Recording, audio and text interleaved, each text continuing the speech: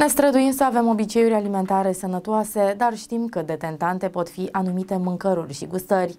Deși există multe metode care pretind că țin aceste pofte la distanță, una în special a atras atenția nutriționiștilor în ultima vreme, ceaiurile pentru suprimarea poftei de mâncare.